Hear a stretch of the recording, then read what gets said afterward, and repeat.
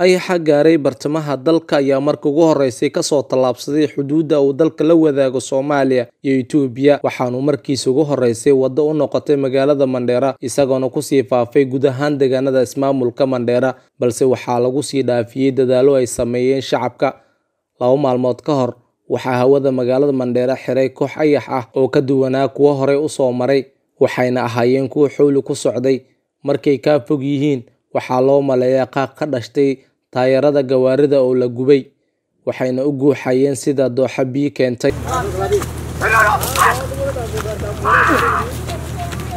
Safarkiisa ugu horeeyey wuxuu ku degay degaano badan sida libaaxiya wuxuuna si toos u abbaaray hareeraha magaalada ramo ayaxa ayaa cagta mariyey caleenta geedaha iyo cawska oo sanadkan si fiican ugu cabay robabkii mahiigaanka ahaa. Kalarka caleenta ayaa isku bedelay kalaro aan indhaha u rooneen geedahana oo ugu weyn yahay quraca wuu burburiyey. Waayo markiiba waxaa ku degto in ka badan konton milyan xabo oo ayax ah.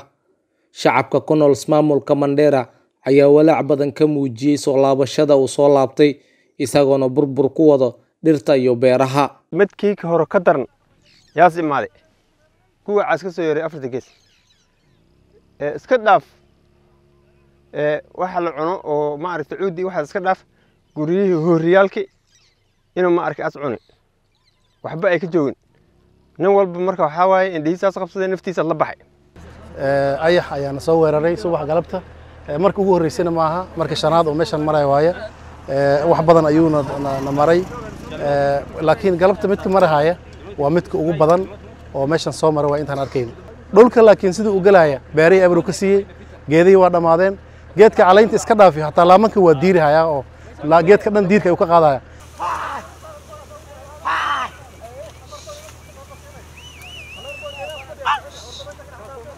Walow ay diinteena ogoshahay in la cuno ayaxa magaalooyinka kale sida kuwa soomaaliya mise kenya laga cunay ismaamulkani mandheera cid dab u shidatay ma lahan. Waayo qof walba wuxuu dagaal kula jiraa sida looga saari lahaa deegaanada uu degay waxayna ka codsanayaan dowladda dhexe iyo hay'adaha aan dowliga ahayn in ay garab ku siiyaan baabi'inta ayaxa oo xasuuq ku hayo dhirta xoolaha u daaqi lahaa. Dhul weyn ayuu ku fadhiyaa. Marka dhulkaasayta zaa'id ayaa dib u gaaray. Beere ayaa ku baxay oo haddana dadka inay goostaan ay rabeen. Beerihii hadda ebrow ka siiyey marka waxaan rabnaa dowladda in si degdeg ay dhulka ku imaada. Maaragtay ay nagu soo deeqaan. Diyaarad ma ogey wax kaloo hadda meeshan lagu bixin karana ma laha in diyaarad la keena la buufiyo oo saas lagu dhamey maahan wax kaloo lagu samayn kara ma laha cid kasta oo awood leh oo wax ka qaban karta waxaan adduunka inaad noo soo gurmada. Dowladda ay noo soo gurmata.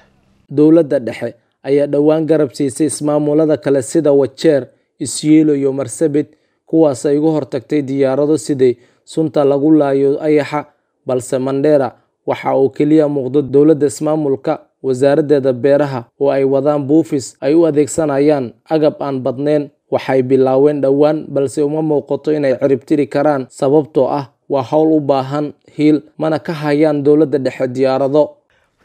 Beeralaydu waa kuwaan waa oynahayaan anag tamar uma hayn ayakna kolley waa ma qaban hayn. Baalahan oo laba xaba iyo baal motoris aan wadanaa.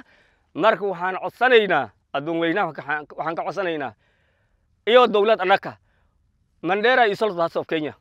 We don't have another government we are not part of another country. Waddan kala waddan kale kuma saabsani. Waxaa weeyaan waxaan codsanaynaa in anakoo dhimanayna la fiiri. Waa laga habboon yahay. Marka waxaan codsanaynaa waddankeen in noola soo gurmada baalkan in nagala buufi midkan waxaa la filayaa inuu haddana sii buubo. Meesha xaleto seexday geedihii uu xalay degnaa. Waxaad u jeedaan in uu caleyntii ka wada daadiyey. Tanna waa masiibo weyn ayaa la dhihi karaa ayaxa hadda masiibada ku haya ismaamulka mandheera ayaa galay lambarka lix iyo tobanaad oo ku soo dego dhulka ismaamulka mandheera waxaana cad in dowladda dhexe ay ka gaabsatay la dagaalanka ayaxa soo gaaro deegaanada hoos yimaado ismaamulka mandheera kuwaasoo qadinayo dadka iyo duunyadaba. Maxamed cabdulqaadir maxamed eki ibrahim warbaahinta star magaalada ramo ee ismaamulka mandheera